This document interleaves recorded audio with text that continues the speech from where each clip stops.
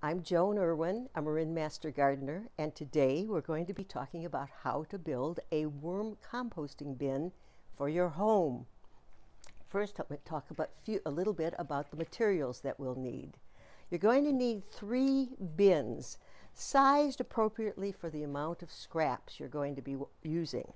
These bins are about are good for two or three people in your household. Now we're going to put together our bins. You're going to make holes in the bottom of two of the bins. And you're going to do that with your drill and your quarter inch bit. So drill the holes about an inch apart all the way through all, the one bin and the second bin. Now, in addition to that, you're going to want to make some holes in the side of the bin so that air can get in and the worms can breathe. That's it as far as what you have to do in the way of construction. Now we're going to assemble the bins. Take the bin that has no holes. That's the reason we do that is because that's going to collect liquid.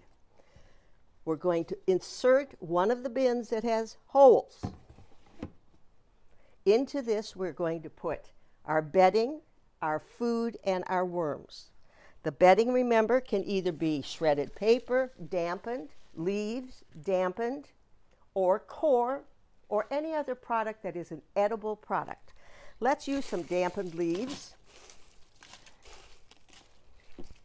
Remember, an important part of this is that the worms will eat whatever this bedding is, so make sure it's edible, a natural product.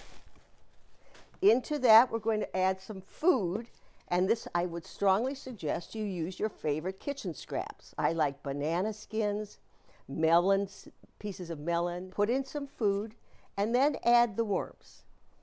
You want to have about, oh, this many worms, which is about a pint. You could do with, start with a half a pint. The exact amount isn't so important. But what is important is that you get the worms that are called red wigglers. The reason for these is because these worms, well, they're earthworms, they feed on the surface, and the food you're going to be putting on the surface. Let's talk about maintaining the worm bin once you've got it put together. Every day in the beginning, I want you to check your worm bin. Open it up, make sure there's still food in there that the worms seem to, and that worms seem to be eating it. Look down into the bin underneath. There will be liquid there because that's one of the products of this. Every day, empty out that liquid. It contains a lot of bacteria, and we don't want that to become anaerobic and cause any health problems. Do that every single day until it looks like most of the food that you've put in there is gone.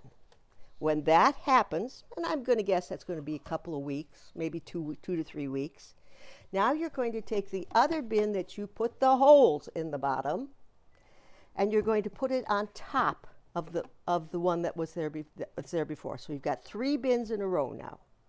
Start putting food in the top bin. The worms will migrate up through the holes in, this, in the bottom of this bin to find that new food. When that happens, let that go about a week. Take this bin out, which is now full of worms. Take the bin that they were in before, the middle one. You now have compost in this one and use this on your plants. Remember, every day empty the liquid out of the bottom one. Put this bin in, the worms are there, add a little bit more food, put this on top, and now you've got the worm bin working again for you. So you're going to rotate these back and forth every couple of weeks when it looks like the worms have eaten most of the food that you've put in there. Now you've got yourself a worm bin.